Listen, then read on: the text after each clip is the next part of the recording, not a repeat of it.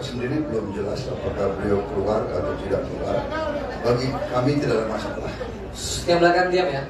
Bagi kami tidak ada masalah karena memang eh, kami rasa bagus.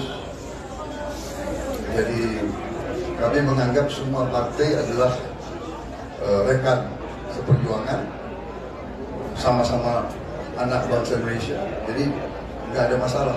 Ya. Tidak ada masalah. Jadi kita senang aja kalau beliau tetap sebagai kader PDIP. Tapi ada komunikasi nggak Pak? Ah, saya sudah berusaha berkali-kali, saya sudah minta waktu, eh, tapi belum belum dapat waktu. Oke. Ya, saya sudah cukup lama. Dari sebelah sini?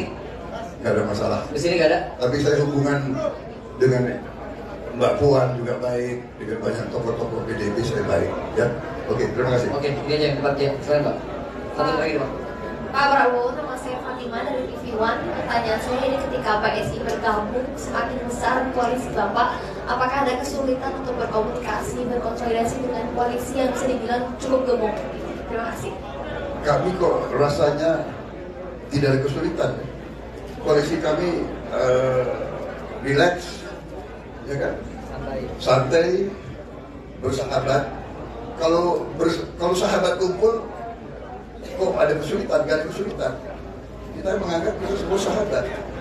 Kita teman, kita punya cita-cita yang sama, idealisme yang sama, walaupun berbeda latar belakang. Ya, kita ingin Indonesia bagus, kita ingin Indonesia maju, kita ingin yang terbaik, kita ingin kekayaan Indonesia di tangan bangsa Indonesia.